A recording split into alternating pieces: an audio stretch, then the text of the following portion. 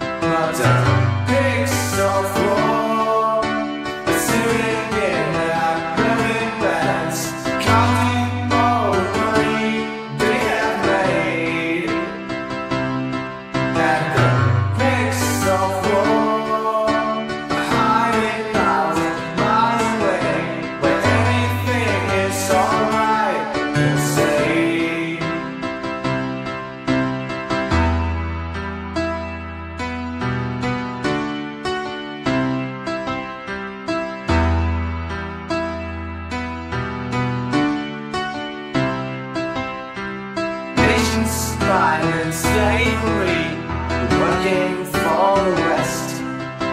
The beggars of democracy are making their